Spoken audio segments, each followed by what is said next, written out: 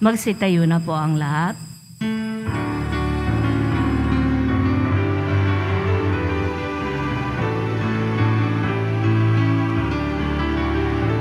Magpuri kayo sa Panginoong Diyos, lahat ng san tinakpan.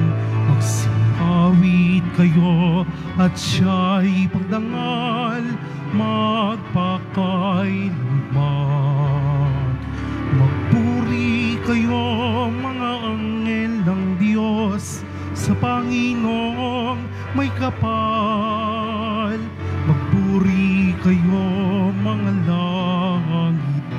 Sa Diyos na sa inyo'y lumikha. Puri kayo sa Panginoong Diyos, lahat ng san tinakpan. Magsingawit kayo at siya'y pagdangal, magpakailanman. Mga kapatid, simulan natin ang ating pagdiriwang sa ngalan ng Ama, ng Anak at ng Espiritu Santo. Amen. Ang pagpapala ng ating Panginoong Kristo, ang pag-ibig ng Diyos Ama, at ang pakikipagkaisa ng Espiritu Santo naway sumainyong lahat. At sumaiyo rin. Sa mga naririto po, gayon din ang mga sumusubaybay sa atin sa pamamagitan ng live streaming sa Facebook, YouTube, Twitter at TV Maria. Magandang umaga po sa inyong lahat at sa mga kapatid nating nasa ibang panig ng daigdig, isang mapagpalang araw po. Sa ating mabuting balita ngayon, pinaalalahanan tayo ng ating pong Jesus Nazareno. Ang kabutihan at gayon din ang pagiging makasarili at makasalanan ay hindi nagmumula sa kung ano ang nasa labas. Sa hulit-huli, tayo'y mahuhusgahan sa ating mga kilos na nagmumula sa kaibuturan ng ating mga isip at kalooban. Mga kapatid, tinipon tayo bilang kaanib ng angkan ng Diyos. Kaya dumulog tayo sa maawaing Panginoong nagpapatawad ng lubos.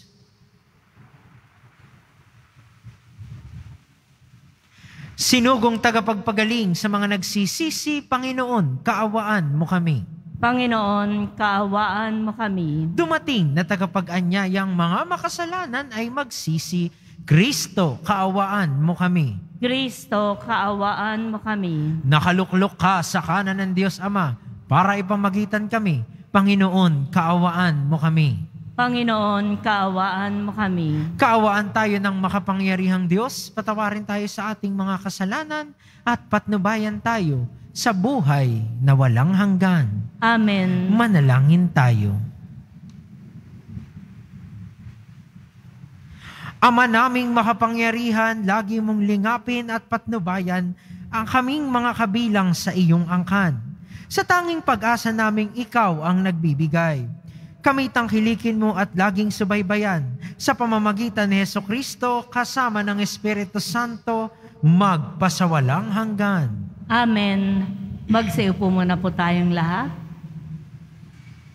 Pagbasa mula sa aklat ng Henesis. Nang likhain ng Panginoon ang lupa at lahat ng bagay sa langit, wala pang anumang halaman o pananim sa lupa, sapagkat wala pang ulan noon at wala pa ring magsasaka. Ngunit mayroon ang bukal ng tubig na dumidilig sa lupa. Nilikha ng Diyos ang tao mula sa alabok. Hiningahan sa ilong at nagkaroon ng buhay. Naglagay ang Panginoon ng isang halamanan sa Eden, sa dakong silangan, at doon dinala ang taong kanyang nilalang. Pinasibol niya roon ang lahat ng uri ng kahoy na nakalulugod sa paningin at masasarap ang bunga.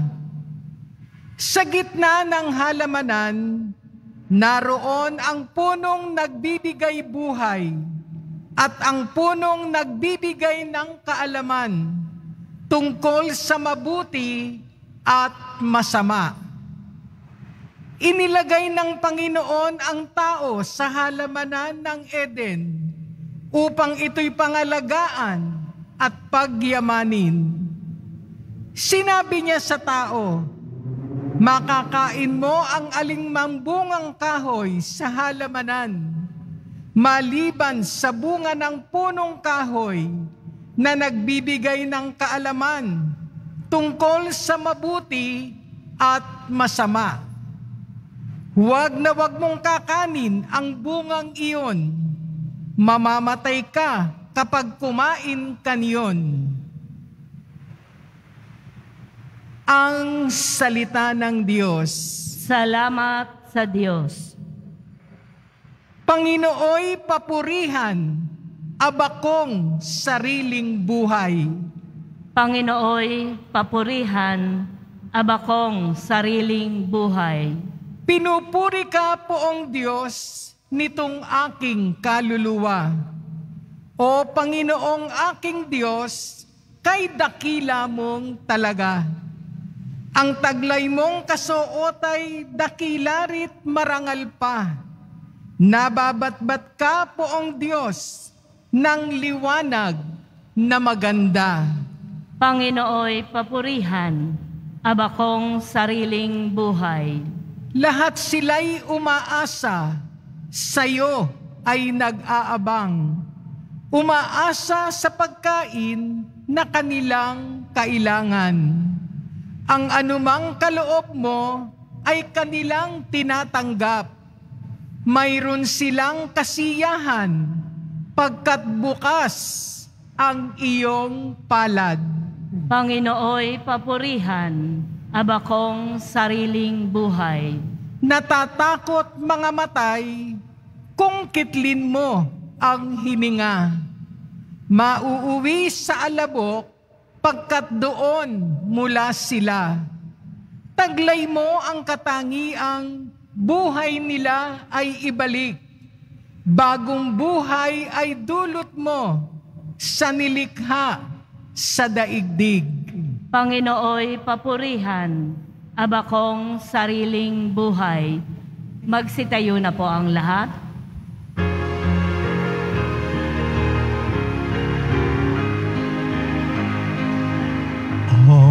Hallelujah, Hallelujah, Hallelujah,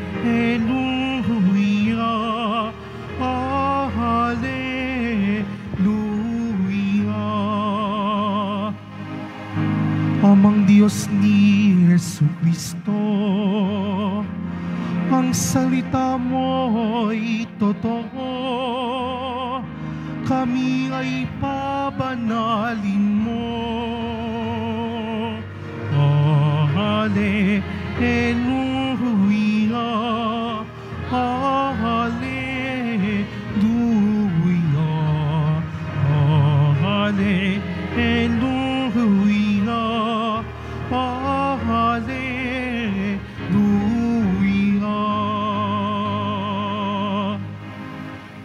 Sumainyo ang Panginoon. At sumaiyo rin. Ang mabuting balita ng Panginoon ayon kay San Marcos. Papuri sa iyo, Panginoon.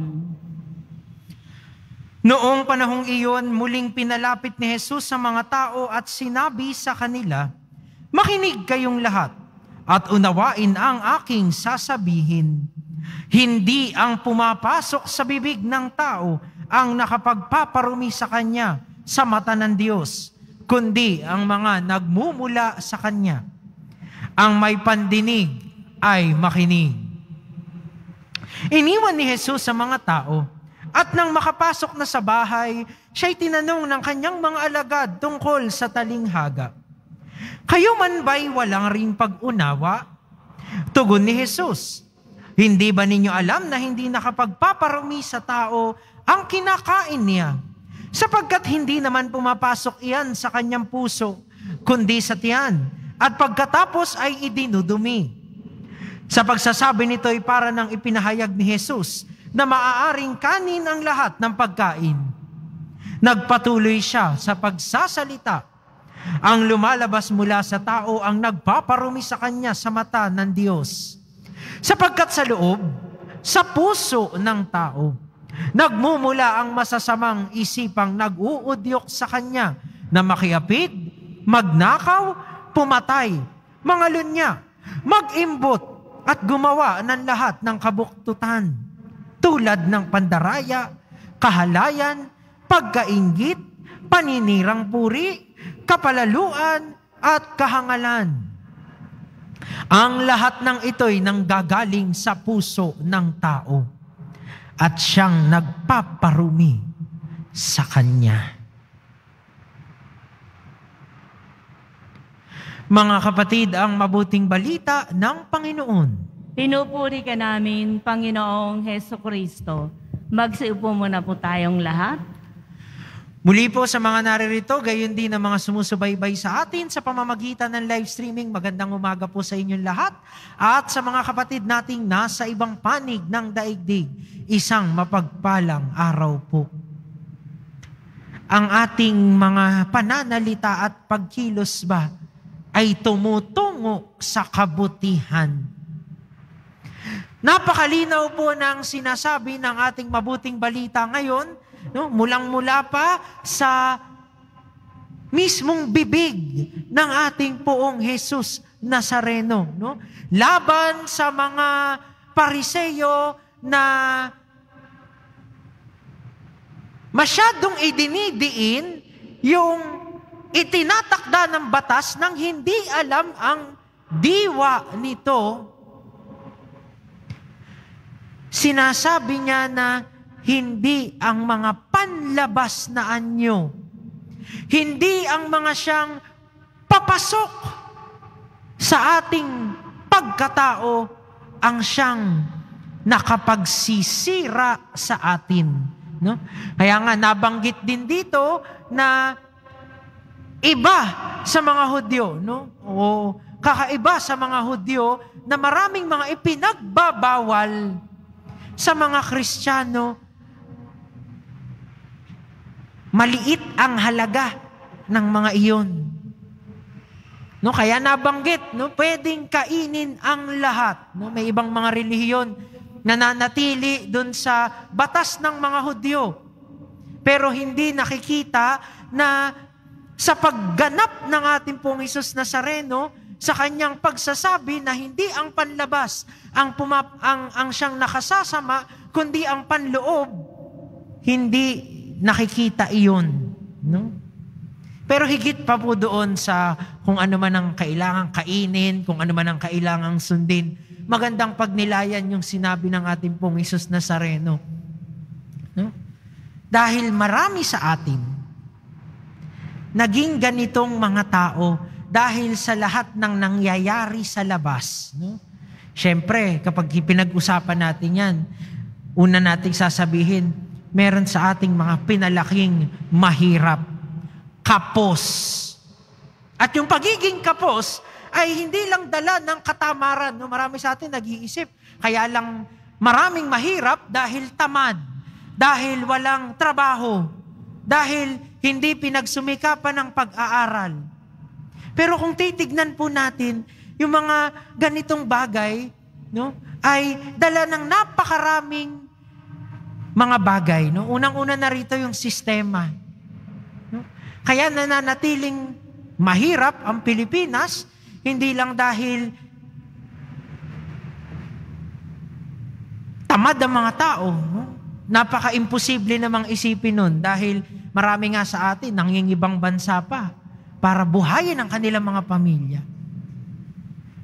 No? Pero may mga sistema na nakapalibot sa atin na sadyang makasarili na may mga taong napag-iiwanan. At minsan, nagkakaroon tayo ng pagkakataong baguhin yung mga yun. Hindi lamang palitan ng mga pinuno, pero sa atin mismo, sa ating pamumuhay, pwede nating baguhin, pero hindi natin mabago-bago. Kaya hindi nagiging pantay ang lipunan. Meron din, hindi lang naman sa lipunan, sa ating mga pamilya. Lalaki tayo, mainitin ang ulo ng lahat. Lalaki tayo, hiwalay ang mga magulang. Hindi naman laging masama iyon. Pero may mga nangungulila rin ng mga maaaring magtayong magulang. Na sinasabi nga natin, maraming mga bagay ang ah, kasangkot kung bakit ganito ang nangyayari. Totoo po iyon. Minsan nagiging bahagi ng mga bagay-bagay natin sa buhay na akala natin ay tama. Ipagtatanggol pa natin. No, okay lang makipagsigawan. Sa bahay, sigawan kami at murahan. Okay lang magnakaw kahit kakaunti. Wala naman na kaming trabahong lahat. Pero parang hinahamon tayo ng ating poong Jesus Nazareno na dahil tayo'y mga tao ng pananampalataya, simula't simula pa lamang ay ipinapahayag natin na ang buhay natin ay sa Panginoon. Pwedeng baguhin ng mga ito. Dahil yung kabutihan, hindi dala ng mga nasa labas natin. Yung kabutihan sa hulit-huli, yung galing sa kalooban natin. Ibig sabihin, nagtitiwala ang Diyos na kaya nating pag-isipan ng mga bagay-bagay. No? Paalala nga sa ating unang pagbasa na tayo'y nilikhang mabuti. Dahil tayo'y nanggaling sa Diyos at kabahagi natin ang kabutihan ng Diyos. Kaya nating baguhin ang mga lumang pamamaraan. Kaya nating baguhin ang mga nakagawi ang makasarili at makasalanan. Dahil na, na, natanggap natin ang turo na maging mapagmahal, maging mapagpatawad, maging mapagbahagi, maging makatarungan. Hindi ibig sabihin na sisisihin na lang natin lagi yung mga pinanggalingan natin. Kaya nating magbago. Kaya nating ibaling ang mga sarili natin tungo sa kabutihan kahit na ang lahat ay tila masama. At ang kinakailangan natin, patuloy na pagsusumikap, patuloy na pananalangin, patuloy na pagkapit sa ating poong Jesus Nazareno. Kaya naman yung pagsisikap na baguhin ang lahat ng makasarili, makasalanan at masama tungo sa kabutihan, kahit kakaunti lang, ay siyang ipagdasal natin ngayong pagpapatuloy ng banal na misa. At tanungin natin ang ating mga sarili, paano at ano kaya ang mga kailangang baguhin? Paano kaya magsisimula ang kabutihang nasa kaibuturan ko? Na magiging tunay na pagbabago sa akin, sa aking kapwa, sa lahat. Mahal na poong Jesus Nazareno, maawa ka sa amin. Magsitayo na po ang lahat.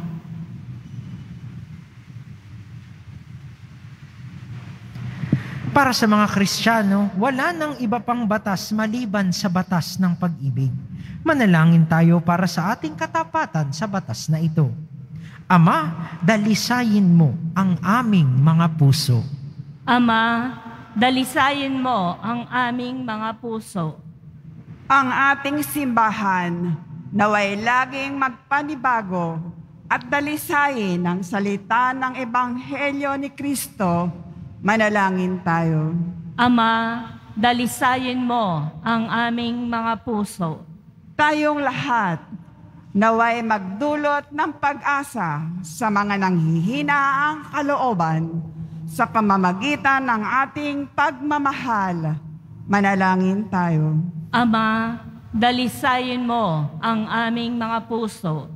ang ating mga puso naway mapuno ng tapat na pagnanais na mabuhay para sa bawat isa upang sumamba tayong lahat sa Espiritu at katotohanan.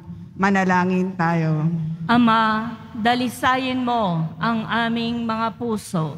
Ang mga may sakit at naghihingalo, naway makatagpo ng kaginhawahan ng pag-ibig at habag ng Ama. Manalangin tayo. Ama, dalisayin mo ang aming mga puso. Sa katahimikan ng ating puso't du- diwa, alay natin sa Panginoon ang ating mga panalangin, gayon din ang mga panalangin ng mga taong mahalaga sa atin. Sama po natin sa ating mga dasal, bukod pa sa mga may sakit, ang mga frontliners at health workers sa patuloy nagsusumikap, baguhin ang mga bagay-bagay sa kanilang tapat na paglilingkod sa mga sa ating kapwa. Manalangin tayo. Ama, dalisayin mo ang aming mga puso. Makalangit na Ama, gawin mong dalisay ang aming mga puso upang hindi kami mawalay sa aming mithiing mahalin ka ng higit sa lahat. Hinihiling namin ito sa pamamagitan ni Kristong aming Panginoon. Amen. Magsiupo na po ang lahat. ang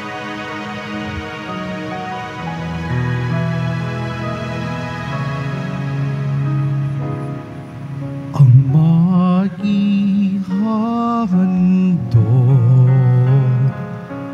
sa'yo, Panginoon,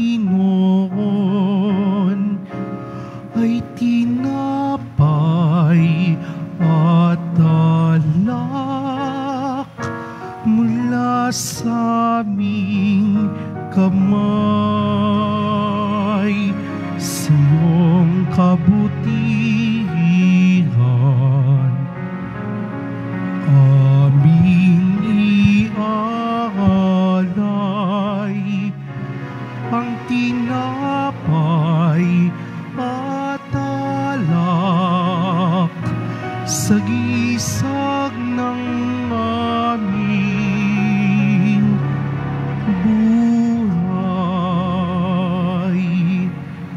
Magsitayo na po ang lahat.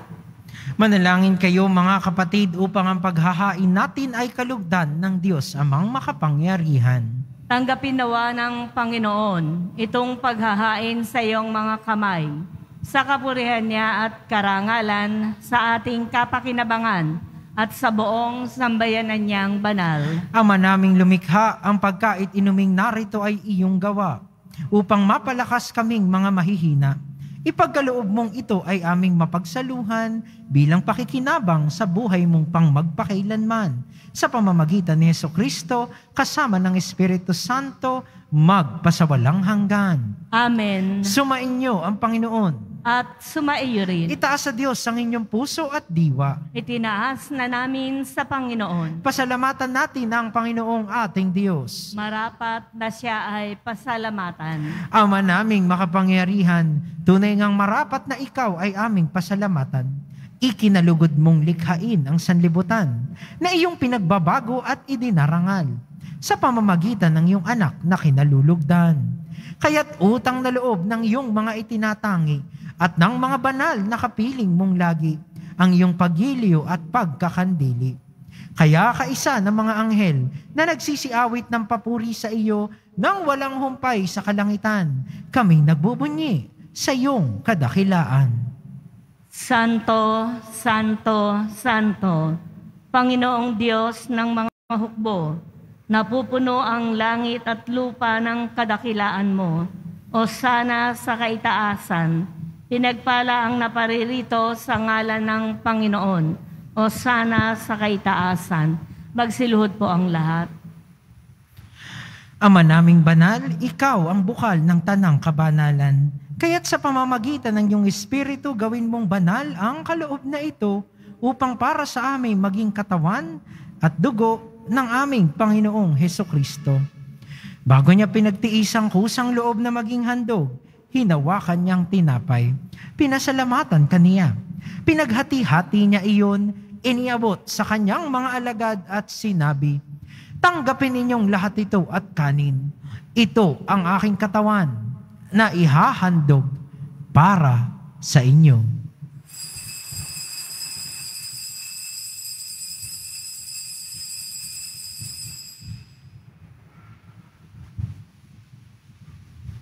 Gayun din naman, nung matapos ang hapunan, hinawakan niya ang kalis. Muli kanyang pinasalamatan. iniabot niya ang kalis sa kanyang mga alagad at sinabi, Tanggapin ninyong lahat ito at inumin. Ito ang kalis ng aking dugo, ng bago at walang hanggang tipan. Ang aking dugo na ibubuhos para sa inyo at para sa lahat sa ikapagpapatawad ng mga kasalanan. Gawin ninyo ito sa pag-alala sa akin.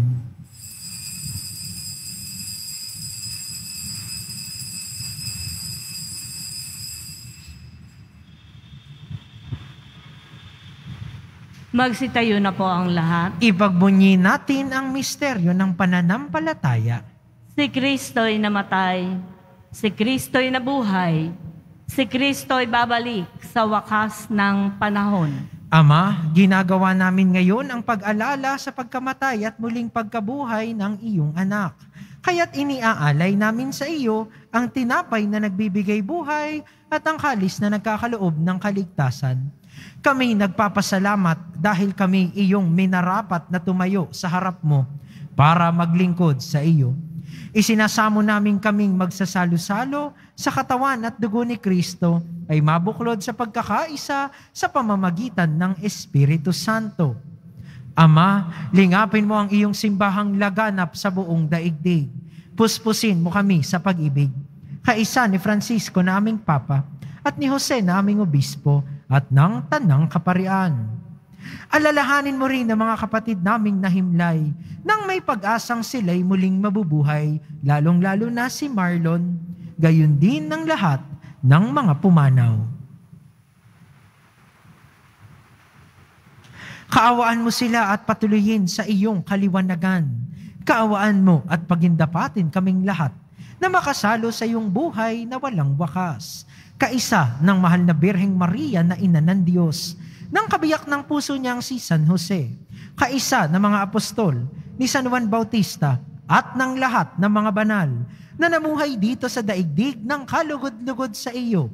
Maipagdiwang nawa namin ang pagpupuri sa ikararangal mo sa pamamagitan ng iyong anak na aming Panginoong Heso Kristo. Sa pamamagitan ni Kristo, kasama niya at sa Kanya, ang lahat ng parangal at papuri ay sa iyo, Diyos amang makapangyarihan, kasama ng Espiritu Santo, magpasawalang hanggan. Amen.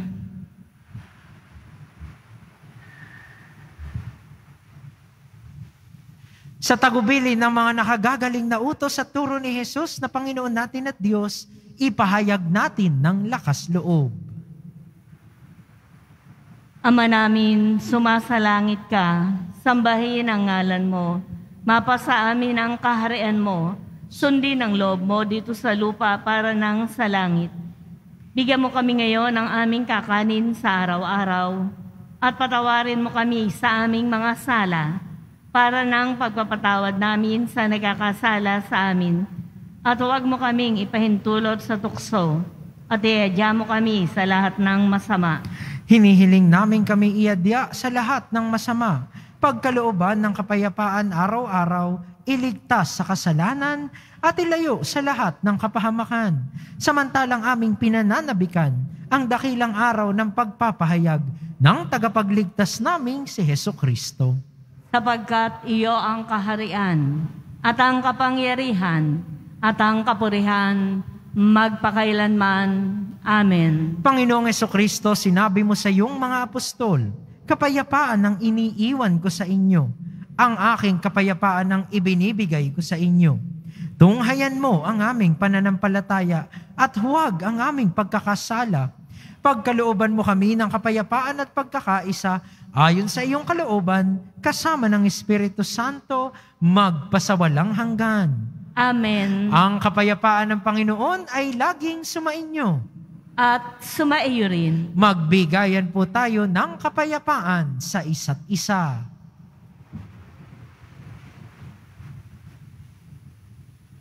Kordero ng Diyos na nag-aalis ng mga kasalanan ng sanlibutan, maawa ka sa amin. Kordero ng Diyos na nag-aalis ng mga kasalanan ng sanlibutan, maawa ka sa amin. Kordero ng Diyos na nag-aalis ng mga kasalanan ng sanlibutan, ipagkaloob mo sa amin ang kapayapaan. Magsiluhod po ang lahat. Mga kapatid, ito ang kordero ng Diyos. Ito ang nag-aalis ng kasalanan ng sanlibutan. Mapalad ang mga inaanyayahan sa kanyang piging. Panginoon, hindi ako karapat dapat na magpatuloy sa iyo. Ngunit sa isang salita mo lamang ay gagaling na ako. Katawan ni Kristo. Amen.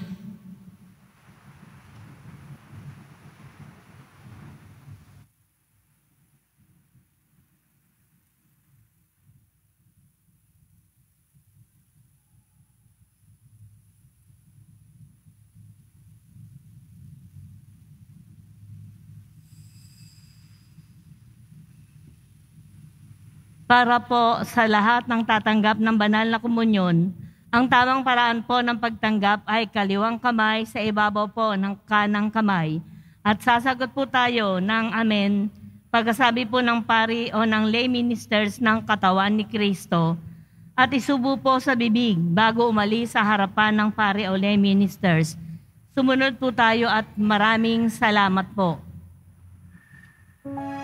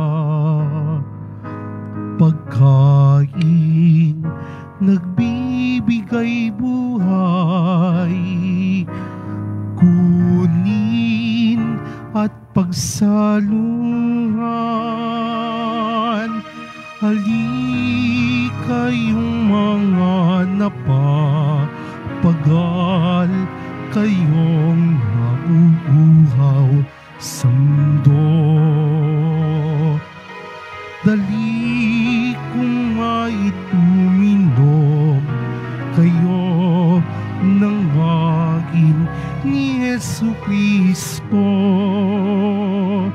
Jesus ang popa ng kaligtasan,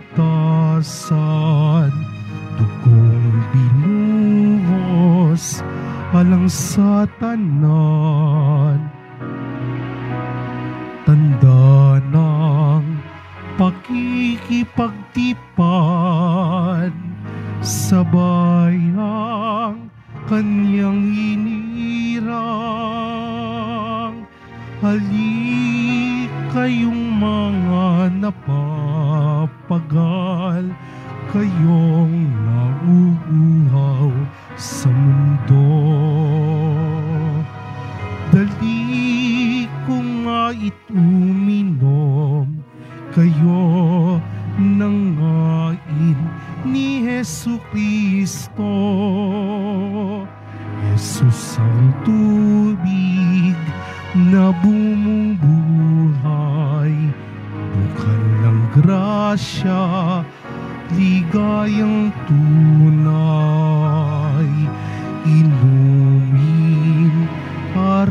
sa kaluluwa, uhugas sa mga sala. Hali kayong mga napapagal, kayong nauuhaw sa mundo.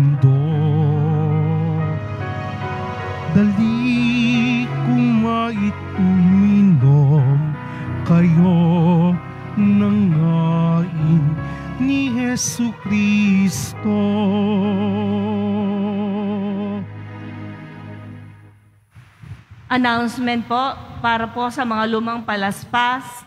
Kung kayo po ay mayroong naitatabing mga lumang palaspas noong mga nakaraang taon, ay maaari nyo na pong dalhin dito sa ating simbahan.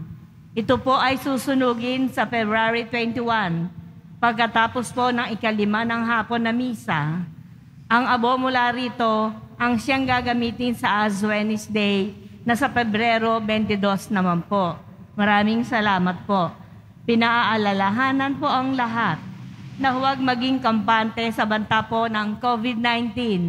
Bagkos, dapat nating ipagpatuloy ang tamang pagsunod sa minimum public health standards sa ilalim po ng Alert Level 1. At sa oras po na makaramdam ng sintomas, agad po na mag-isolate para po sa dagdag na proteksyon laban sa banta ng COVID-19 agad-agaran na po tayong magpabakuna at booster.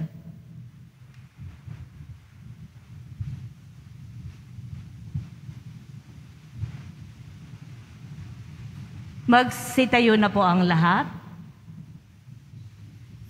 Manalangin tayo.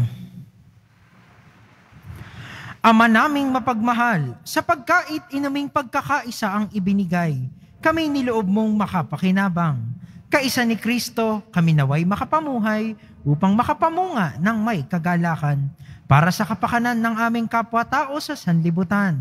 Sa pamamagitan niya, kasama ng Espiritu Santo, magpasawalang hanggan. Amen. Bago po ang huling pagbabasbas, paalala lamang po na kapag tayo'y nagdarasal, nagdedebosyon, at nagdiriwang ng mga banal na sakramento sa loob at sa paligid ng simbahan, kinakailangan pa rin po isuot ang ating face mask ng maayos. No? Huwag pong tatanggalin at uh, kung di naman kinakailangan at siguraduhin hindi lamang siya nakalaylay, kundi maayos na tinatakpan ng ating mga ilong at bibig. Ingatan po natin ang ating mga sarili bilang bahagi ng ating pagmamalasakit sa ating kapwa. Sumainyo ang Panginoon. At sumaiyo rin. Magsiyuko para sa pagbabasbas. Mahal na poong Jesus Nazareno, Inihayag mo sa pamamagitan ng krus ang walang maliw na pag-ibig ng Diyos sa sangkatauhan. Pakinggan mo ang kahilingan ng iyong angkan na nagsusumamo sa iyo. Makamtan nawa nila ang iyong katugunan at tanggapin ang kasagutan na may utang na loob na tinatanaw.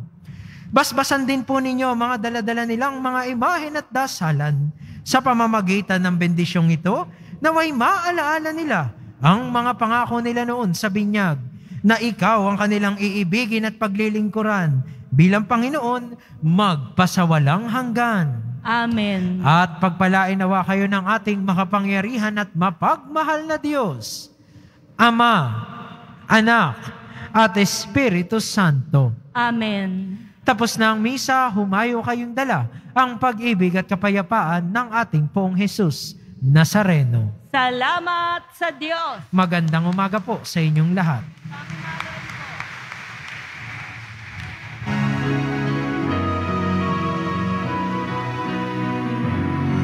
Nuestro Padre Jesus Nazareno, sinasamba ka namin.